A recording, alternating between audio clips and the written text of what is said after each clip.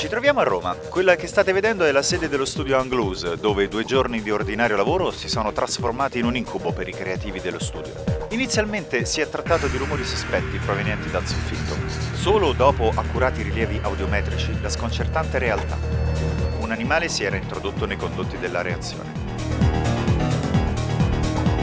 Dai rumori prodotti lo staff dell'Anglus deduceva che si trattava di un grosso roditore che, trapolato da ormai due giorni, tentava disperatamente di liberarsi. Non restava altro da fare che catturare l'animale.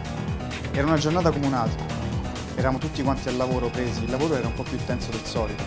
Nessuno avrebbe mai immaginato che sarebbe successa una cosa del genere.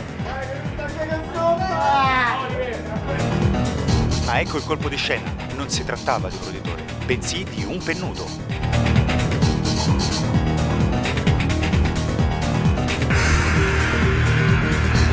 Dalle fervide menti creative viene partorita la trappola perfetta. Eccolo! No, attenti! Attenti, volatile!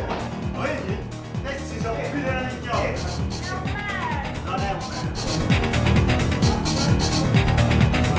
Quando abbiamo cominciato a sentire quei rumori, alcune persone si sono messe a gridare e pensavamo veramente che stesse per accadere l'impossibile.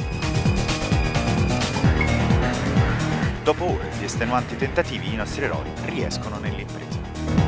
Quindi un'emozione fantastica alla fine perché siamo riusciti a buttargli questa felpa addosso, a prenderlo, siamo usciti di corsa fuori nel parcheggio.